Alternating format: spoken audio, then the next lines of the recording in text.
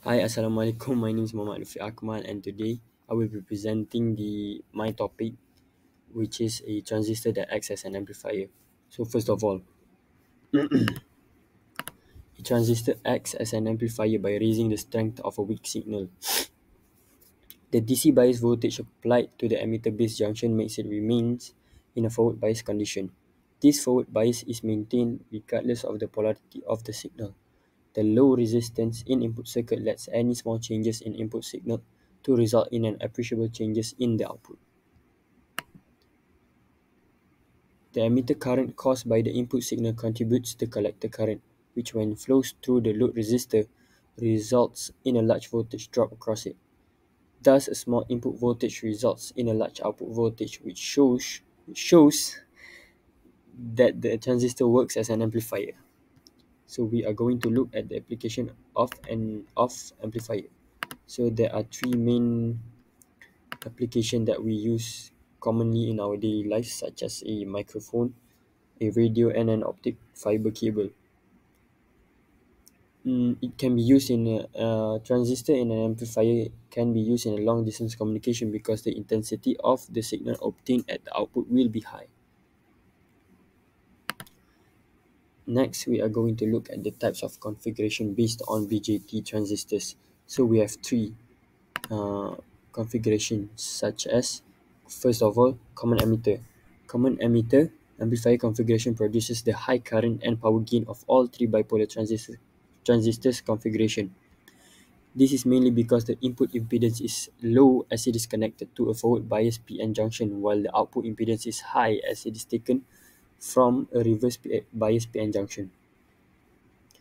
Next, we are going to look at common collector. Common collector configuration, load resistance is connected in series with the emitter terminal, so its current is equal to that of the emitter current. So the voltage gain approximate to 1. So last but not least, we have common base.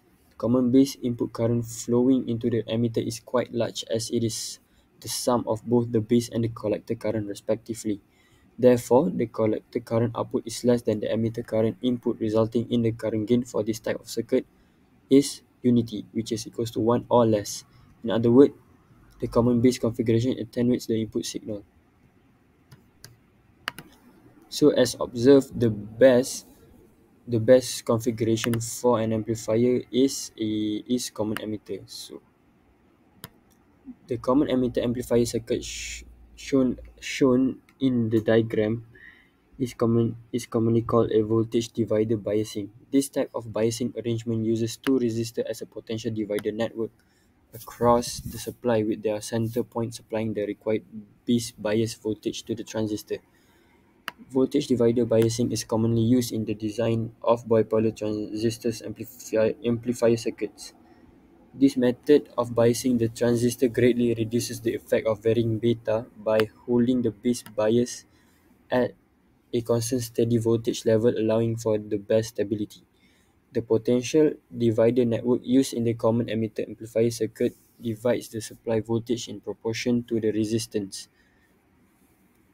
It offers both current and voltage gain resulting in higher power gain than in common base emitter configuration. Therefore, we can conclude that common emitter is the best and the calculation for voltage gain is as given below.